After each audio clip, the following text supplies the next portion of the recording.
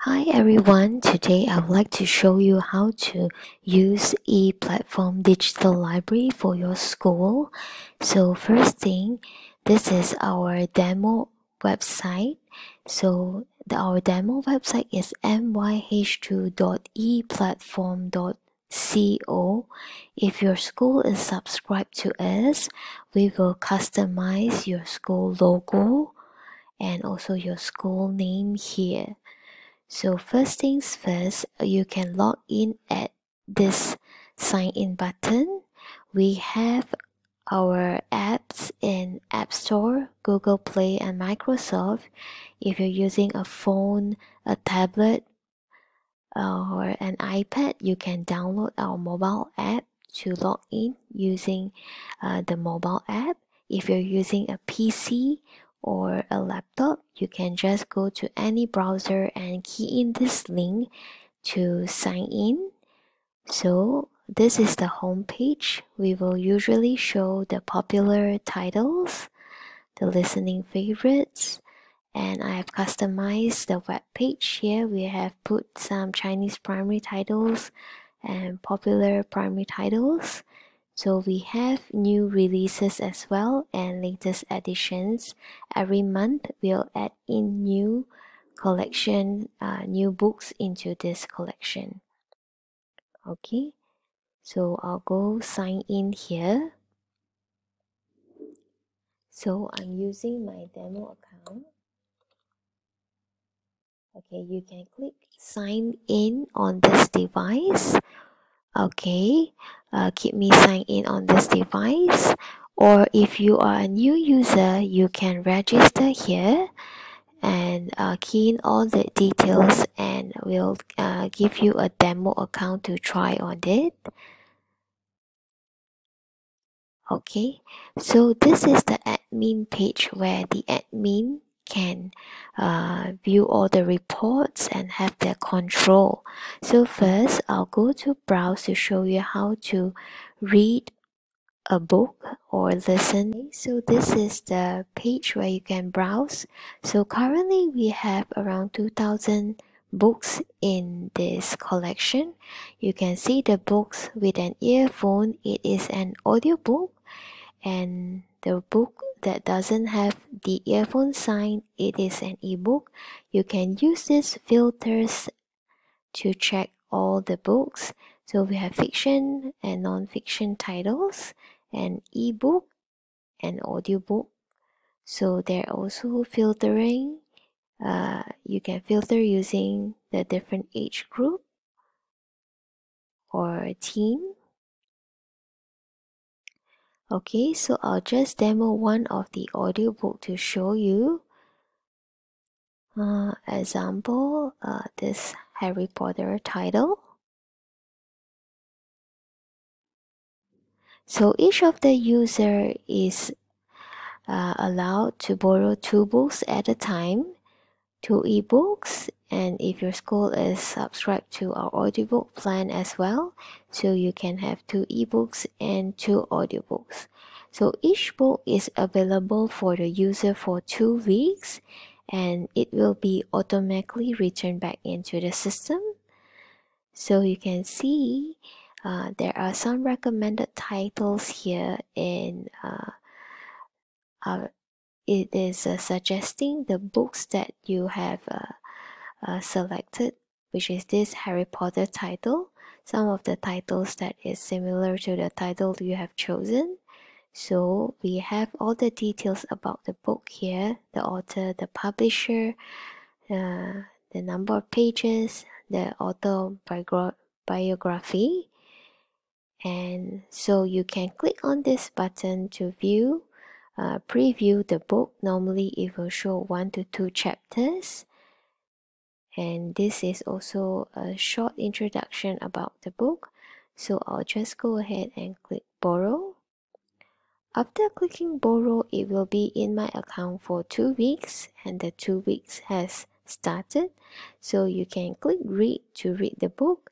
And if you have finished reading the book you can just click return okay.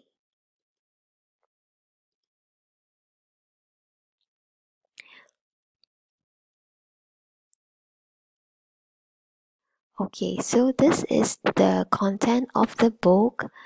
So uh, it will show uh, you can click left and right to read the book. You can see here the Riddle House. The villagers of Little Hangleton still call it the Riddle House, even though it had been many years since the Riddle family have lived there. So all the content of the book is here. You can read the whole book, the Harry Potter, and there are 37 chapters.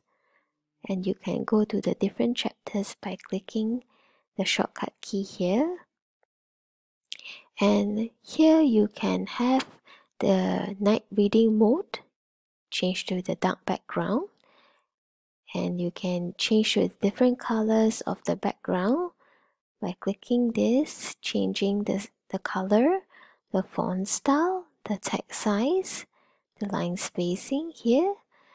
And you can also do a bookmark example you can click at the top of the page and it will show in your bookmark.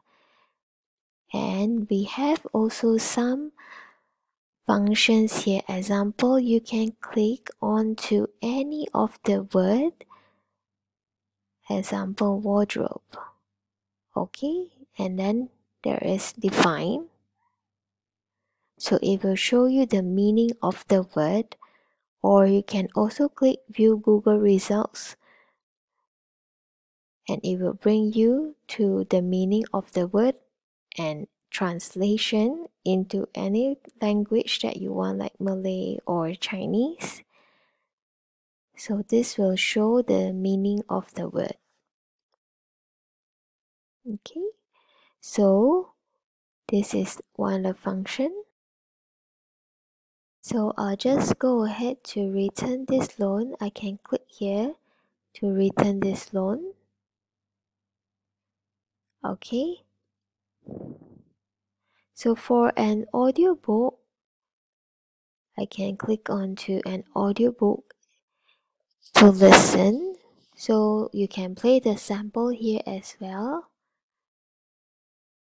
right? So it puts here the interest age 7 to 11 years old.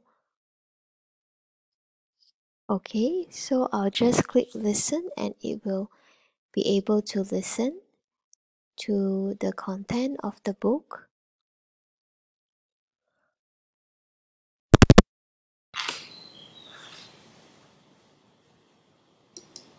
I'll just play a sample of the book. So now it's actually downloading into your system, your PC or laptop.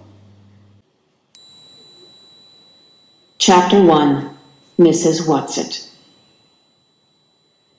It was a dark and stormy night. In her attic bedroom, Margaret Murray, wrapped in an old patchwork quilt, So this is the sample of the audiobook. The whole book narration. The whole book can be listened via clicking and borrowing onto the audiobook. So I'll just go out now. Okay, so you can see here at there you go. This is the book that you have borrowed into your account. So and you can click on to show loan history to see the book that you have borrowed before the last time. And let me click on to the admin site to show you the admin pages. So mainly you can check the loans and the reports of the users of your school at this analytics and reports. So uh, the reports that I'm going to show you is only a demo site. It's not of any particular school. So you can check on the analytics and reports. Okay, so you can see the monthly loans, either ebook or audiobook, or if you have any private titles here and also any reservation of the books you can see here and you can view the most popular book being borrowed in this list and the users that have borrowed the books.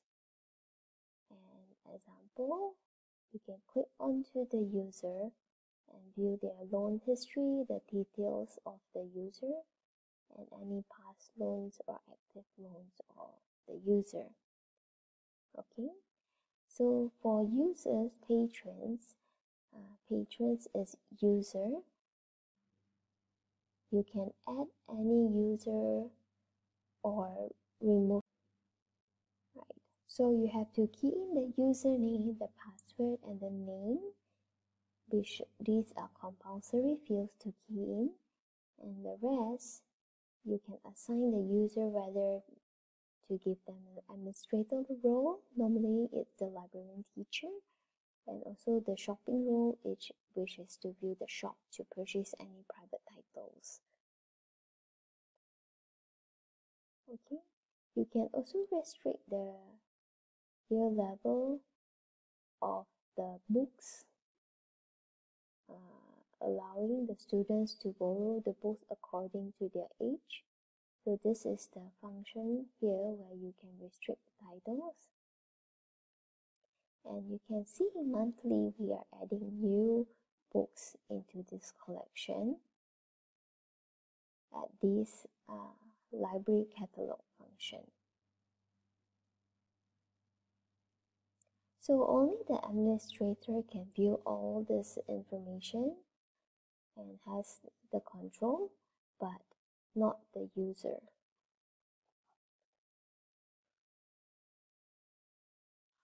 Okay, you can see we have added new books this month in February and we have added also in January and December. So every month we are adding new books into this collection. So you are sure to have new books to read every month.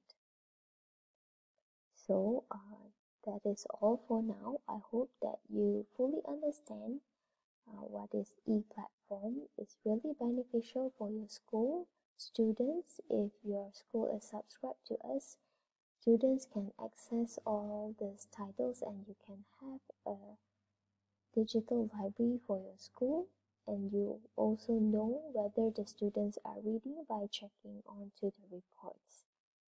So students can access ebooks anywhere, anytime by subscribing to ePlatform Digital Library. So please contact us if you have any questions or if you would like to subscribe to ePlatform Digital Library, please contact us. Thank you so much for watching.